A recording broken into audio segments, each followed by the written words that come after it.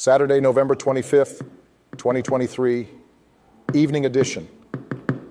Please pardon any visual and informational inaccuracies in this entirely AI generated News Digest video. Good evening, dear viewers. I am your news anchor, Xander Voxius III. Thank you for tuning in to the Future of News AI generated News Digest Daily Intelli Report. As always, I will be assisted by my valued AI generated colleagues in scraping the web for the latest stories and interesting topics and summarizing them for you. Without further ado, here are the headlines of the day. Doctors remove rare vagina stone the size of an orange. Rethinking attitude about living longer aging concerns. Cosmic ray in Utah traced back to another galaxy. Earth's axis shifting due to water, study says. Discovery of new giant radio galaxies reported. Scientists discover new species of dinosaur in Australia and much more. But first, let's take a look at this day in history. November 25th in history. November 25th, 1491. The Siege of Granada, the last Moorish stronghold in Spain, ends with the Treaty of Granada. November 25th, 1755. King Ferdinand VI of Spain grants royal protection to the Beaterio de la Compañía de Jesus, now known as the Congregation of the Religious of the Virgin Mary. November 25, 1981. Pope John Paul II appoints Joseph Cardinal Ratzinger, the future Pope Benedict XVI, prefect of the Congregation for the Doctrine of the Faith. Today's obituaries Gerard Collomb, Brief Wikipedia summary. Gerard Collomb, a French politician who served as the Minister of the Interior and Mayor of Lyon, has died from stomach cancer at the age of 76. Collomb was a member of the La République En Marche party and had a long political career in local and national politics. Natalia Dmitrieva, 78, Russian actress known for her roles in Bumbarash, Through the Fire, and The Man Who Doesn't Return. Bita Farahi, brief Wikipedia summary. Bita Farahi, a renowned Iranian actress known for her roles in films such as Hamoon and A House Built on Water, has passed away at the age of 65 due to complications from heart and lung disease. Papy Komane, brief Wikipedia summary. Papy Komane a 48 year old South African footballer who played for clubs like Jomo Cosmos and Orlando Pirates, died in a traffic collision. He also represented the national team, earning nine caps between 1998 and 2000. Llewellyn Landers, brief Wikipedia summary. Llewellyn Landers, a South African politician and Deputy Minister of International Relations and Cooperation, has passed away on November 25, 2023. He was involved in various parliamentary committees and was a member of the ANC National Disciplinary Committee. Axel Mirbakov, 73, Kazakh singer Mukasan. Ingvar Nummer, brief Wikipedia summary. Ingvar Nummer, a Norwegian singer and actor known for his role in the show group Dizzy Tunes, has passed away at the age of 79. He was a popular figure in Norwegian entertainment and received several awards for his contributions. Nummer also had voice acting roles in films and video games. Alfredo Adum Ziade, a prominent Ecuadorian lawyer and politician, has passed away at the age of 71. Throughout his career, he served as prefect of Guayas province, a member of the National Congress, and Minister of Energy. He died in Guayaquil on November 24, 2023. Camilo Cascolan, brief Wikipedia summary. Camilo Cascolan, a Filipino police officer, served as the chief of the National Police in 2020. He had a long and distinguished career in law enforcement, holding various leadership positions within the Philippine National Police. Cascolan was known for his efforts to reduce crime and improve coordination among different agencies. George Cohon was an American born Canadian fast food executive. He founded McDonald's Canada and McDonald's Russia. Sadly, he passed away at the age of 86. In 1968, Cohon opened his first McDonald's restaurant in Canada. Later, in 1990, he played a crucial role in introducing the fast food chain to Russia. Additionally, Cohon was the founder of Ronald McDonald House Charities in both Canada and Russia. Throughout his career, he received several awards and honours, such as being made a member of the Order of Canada and receiving the Order of Friendship from the Russian government. Bruno Fagnoul. Brief Wikipedia summary. Bruno Fagnoul, a Belgian politician and former minister president of the German speaking community, has passed away at the age of 87. Fagnoul was a member of the Party for Freedom and Progress and had a long career in politics, serving as mayor of Raeren and joining the parliament of the German speaking community. Jukka Haavisto. Brief Wikipedia summary.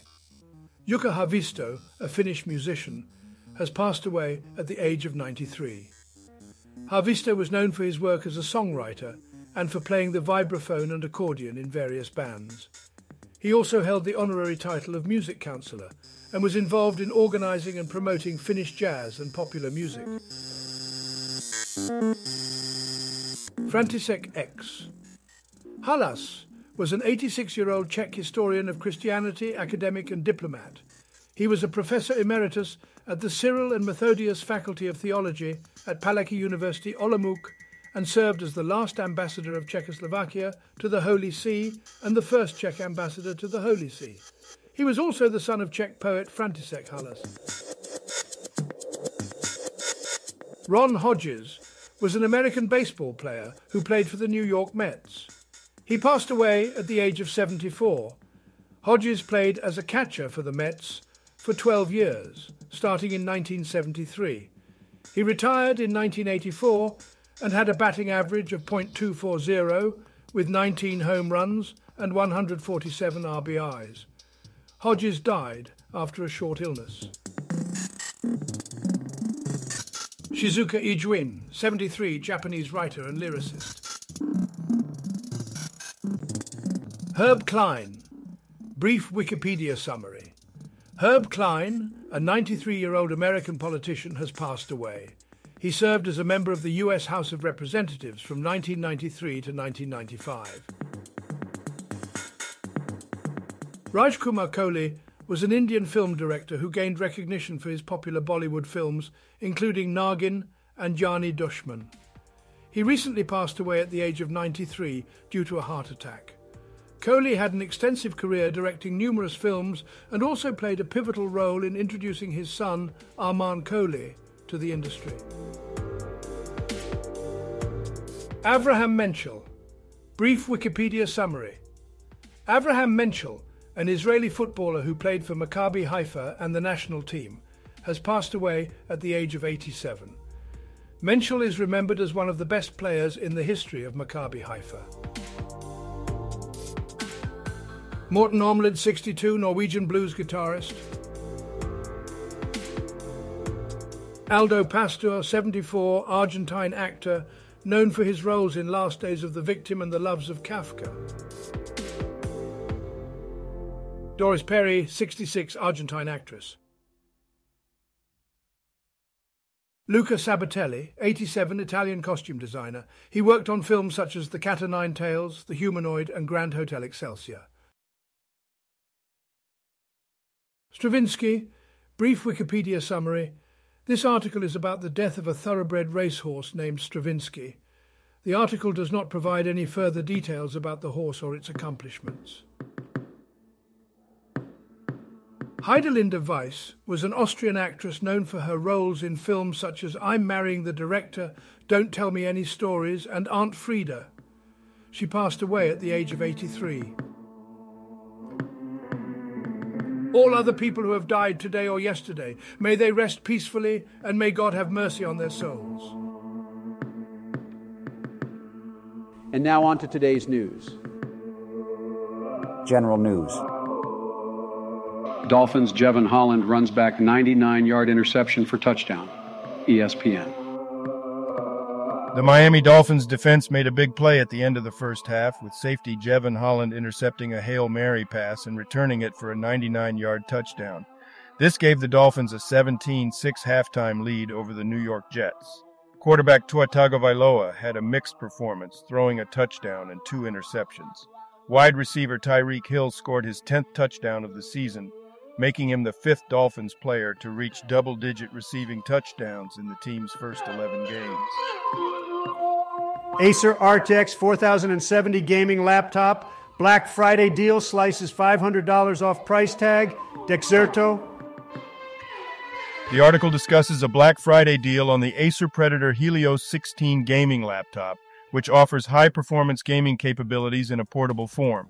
The laptop features an Intel Core i7 13700HX CPU, an NVIDIA GeForce RTX 4070 GPU, 16 GB of DDR5 RAM, and 1 TB of SSD storage.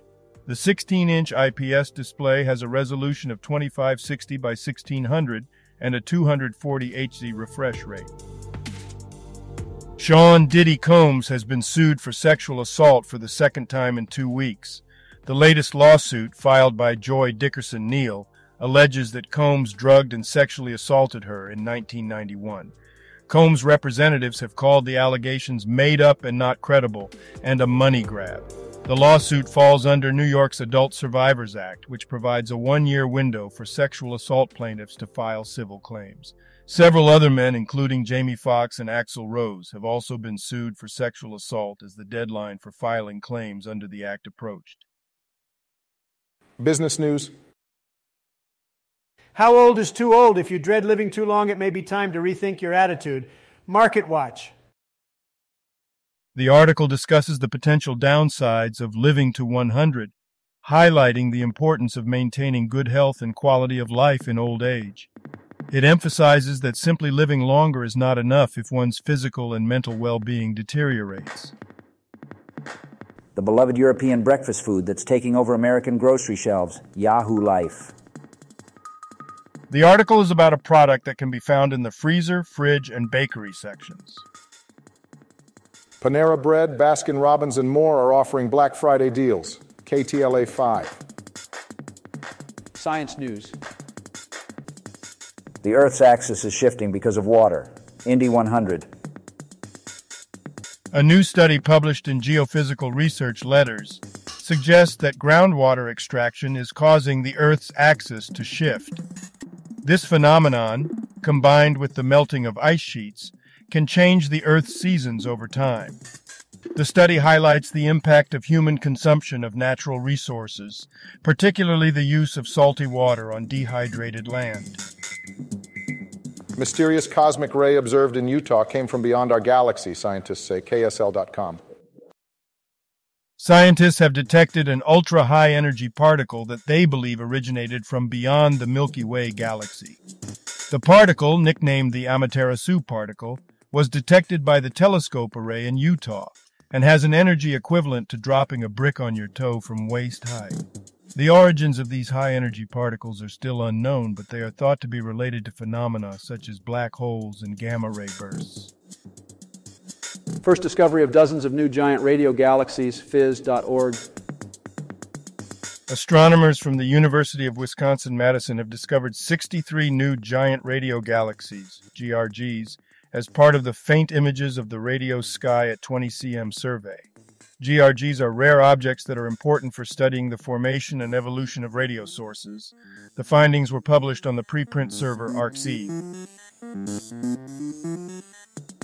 People born on this day. Mark Lanegan. Here is a recap of their Wikipedia page. Mark Lanegan, an American singer songwriter, died on February 22, 2022. He was known for his work with bands such as Screaming Trees and Queens of the Stone Age, as well as his solo career.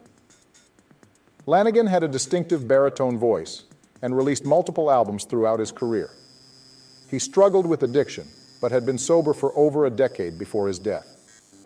Lanegan was 57 years old at the time of his passing, and the cause of death was not disclosed. Stephanie Hsu, here is a recap of their Wikipedia page. Stephanie Hsu is an American actress born on November 25, 1990. She has appeared on Broadway in television shows like The Marvelous Mrs. Maisel and in films such as Everything Everywhere All at Once. She received critical acclaim for her performances and has been nominated for awards. H. Su is also a member of the LGBTQ community. Health news. It's not gone, it's changing, it's killing the COVID variants who is watching closely, Euronews. The article discusses the various subvariants of the Omicron variant of COVID 19 that are currently circulating globally. It highlights the dominance of sublineages such as EG, 5 and HV, 1, as well as the emergence of sublineages BA, 2.86 and JN, 1. While these variants are a cause for concern, there is currently no evidence of increased disease severity or vaccine escape.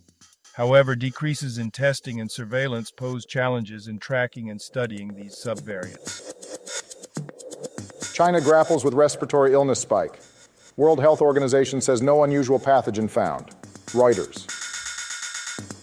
China is experiencing a surge in respiratory illnesses, particularly among children, as it enters its first winter season since lifting COVID 19 restrictions. The World Health Organization, WHO, has requested disease data from China, and while no unusual or novel pathogens have been detected, the WHO has called for vigilance. China's State Council has warned of a peak in influenza and ongoing high levels of Mycoplasma pneumonia infections, as well as the risk of a COVID 19 rebound. Authorities have issued health advisories but have not implemented strict measures like mask mandates or school closures. The WHO and China have faced questions about transparency in reporting COVID 19 cases. Preliminary data suggests that the respiratory illnesses are not a new variant of COVID 19. Shock doctors remove rare vagina stone the size of an orange from a woman's pelvis. New York Post. Doctors in Lebanon discovered a rare vaginal stone the size of an orange lodged in a woman's pelvis the stone was caused by urine stagnation rather than a bacterial infection. The woman, who had cerebral palsy, experienced symptoms such as stomach pain and was successfully treated with laser therapy and forceps removal. The case study suggests that routine gynecologic examinations and x rays should be conducted for individuals with cerebral palsy who are at a higher risk of developing vaginal stones. Entertainment news. Bruce Willis holds family tight during Thanksgiving while battling dementia. Fox News. Bruce Willis, who is battling frontotemporal dementia, spent Thanksgiving surrounded by his loved ones. His daughter Scout shared videos and photos of her father on social media, showing their love and support. Willis's wife, Emma Heming Willis, also shared a family photo, expressing her gratitude for their love. Willis's family has been open about his dementia diagnosis. Thank you for watching this AGNDD Intellireport. Like, subscribe, and click the bell button to get notified during new uploads. And make sure to tune in next time. Stay safe and healthy. Cheers.